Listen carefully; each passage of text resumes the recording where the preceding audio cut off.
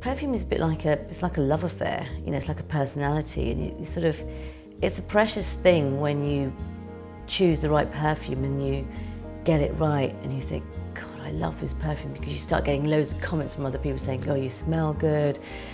You get noticed for your smell rather than what shoes, shoes you're wearing or what dress you have on. I wanted to start the perfumer story because I wanted to kind of help assisting people to choose perfume. I think it's really hard for, for anyone to choose the fragrance based on top, middle and back notes. For example, we have character and style, so rather than on the fragrance family, so Sequoia Wood character and style is sensual, creative and edgy.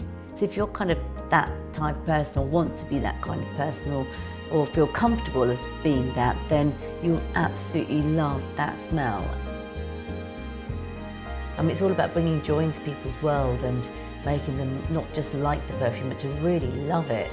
And for them to just say, God, I just, you know, it turns their lives around in some way.